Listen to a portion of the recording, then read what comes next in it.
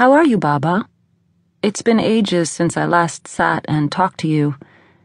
I nearly forgot about my promise to write to you whenever happiness sneaks into my little heart.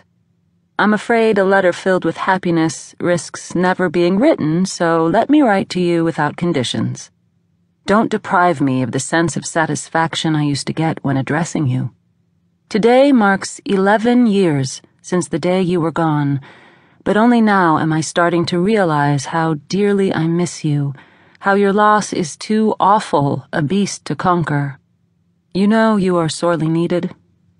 My only solace is that I know you feel my thoughts. Life has become more painfully complex than getting a good grade in history or going out with Auntie Karama's family. Life is never that simple. What to tell you? Gaza is frustrating these days, well, these years. It's a good exercise in patience, at least. This summer is the worst of all the summers that passed without you. Breathing some good air has become a luxury we cannot always afford. When nothingness takes over, which happens quite too often, I sit in my room, which is fully exposed to the sun, gazing at the tiny mark of the gunshot and the ugly crack it left there. Yes, that very same crack on the wall caused by his rifle. Such an eyesore. Other times I would gaze at it, trying to recall how that soldier might look like. That huge creature grabbed you out of my bed and didn't give you the chance to finish my bedtime story. I cannot remember anything but his dusty black boots and the frightening rifle. So many times I tried to imagine how he would look like and always ended up believing he is no more than a faceless monster. Maybe I have gone too far thinking of him, of his life, of his family, of his wife, whom he loves of his smart kid who can get a good grade in math, of him laughing and crying. Baba, what would make this kind of human rejoice over the fact that I am living the agony of being fatherless with an uncompleted story?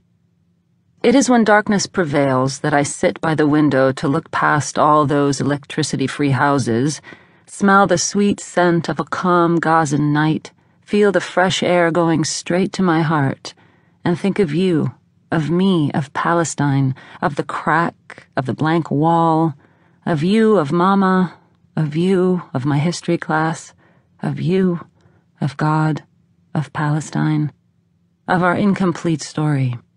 I enjoy bringing to my mind your tender voice narrating the story of Tha'ir.